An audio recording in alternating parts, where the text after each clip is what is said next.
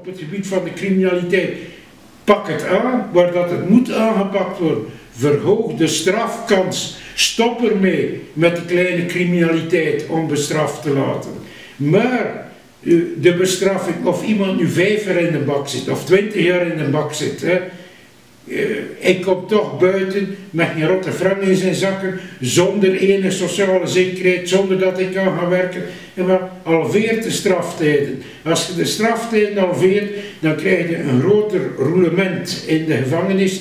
Dan komen er weer plaatsen vrijheid van en dan kunnen de kleine criminaliteit opnieuw bestraffen.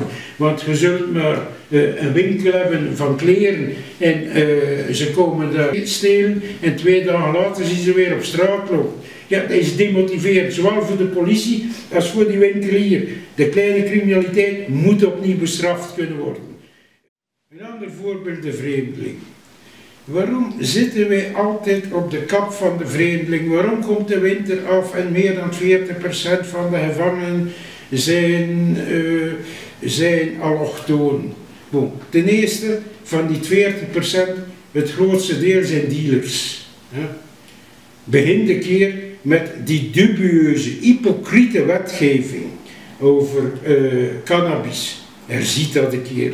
En legaliseert dat een keer op een manier. Dat wil niet zeggen dat iedereen overal shit mag paffen. Nee, dat wil zeggen, we zullen het in handen nemen, we zullen uh, het laten uh, produceren door gecontroleerde kleine bedrijven. We zullen de kwaliteit ervan controleren en we kunnen er desnoods accijns op heffen, dan op de sigaretten heffen.